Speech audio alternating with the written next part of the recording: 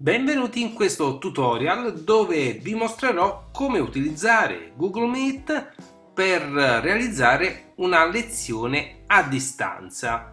Vi spiegherò tutto passo dopo passo illustrandovi tutte le funzioni per creare una lezione a distanza online.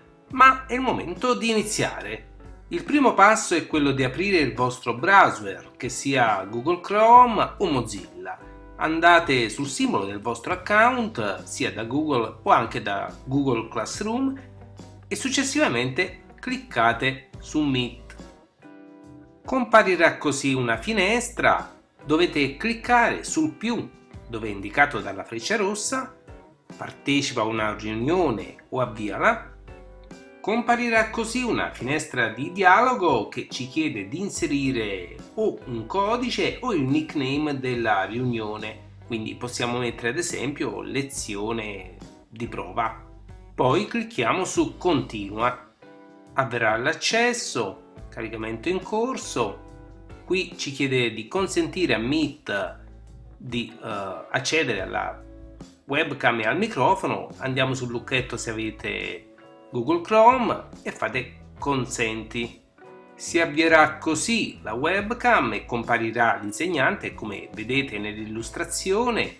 Da qui è possibile attivare il microfono, disattivarlo e attivare la webcam o disattivarla. Mentre se osservate in alto a destra ci sono tre puntini bianchi che indico con la freccia. Se ci cliccate sopra comparirà questa finestra con varie voci, possiamo attivare i sottotitoli, andare su impostazioni e se andiamo su impostazioni compare un'altra finestra dove è possibile settare sia l'audio che il video. E dopo aver controllato tutti i vari settaggi dobbiamo cliccare su partecipa alla riunione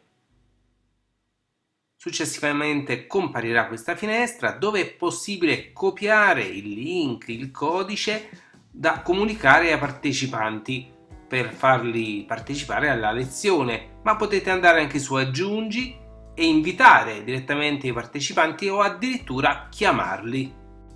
Chiudiamo le finestre cliccando sulla X e compare la schermata che vedranno i partecipanti. Compare così l'insegnante, mentre sulla destra troviamo due icone. La prima è l'icona della chat che permette di interagire con i partecipanti, magari rispondere a varie domande.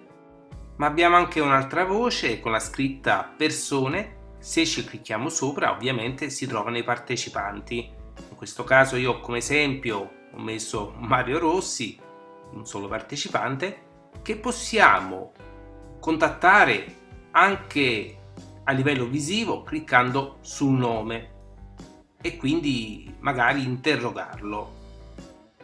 Subito sotto troviamo una barra degli strumenti con l'icona del microfono e la webcam che possiamo sempre attivare e disattivare, la cornetta rossa per chiudere la riunione e il pulsante presenta ora. Se ci clicchiamo sopra possiamo scegliere di aprire o una finestra o un, a tutto schermo e vedere magari il nostro desktop e mostrare dei file come ad esempio una presentazione, un pdf da condividere con i partecipanti. Spero che questo breve tutorial sia stato anche chiaro, ho cercato di renderlo più chiaro possibile attraverso delle illustrazioni e potresti ricambiare il favore magari iscrivendoti al canale, sotto al video trovi il pulsante iscriviti, a te non costa nulla ma a me aiuterebbe molto. Ti ringrazio in anticipo e ci vediamo al prossimo video. Ciao a tutti!